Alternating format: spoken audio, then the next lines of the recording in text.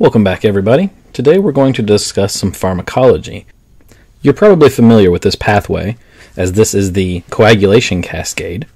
What we're going to discuss today is going to have to do with things that can inhibit this coagulation cascade. So, the pharmacology to keep clotting from occurring or to break down clots. Specifically, we'll discuss direct thrombin inhibitors, which are going to directly inhibit the activity of thrombin, which we see here. Then we will discuss heparin. Heparin activates antithrombin, which will then decrease the action of our 2A, which is thrombin, as well as our factor 10A. Moving on, we will discuss warfarin. Warfarin inhibits our epoxide reductase, which will affect vitamin K dependent clotting factors. Specifically, those factors are 2, 7, 9,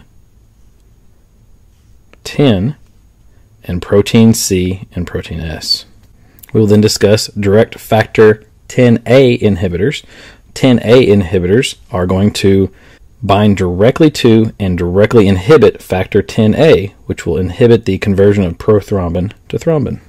Later on, we will discuss thrombolytics, ADP receptor blockers, and glycoprotein 2B and 3A inhibitors.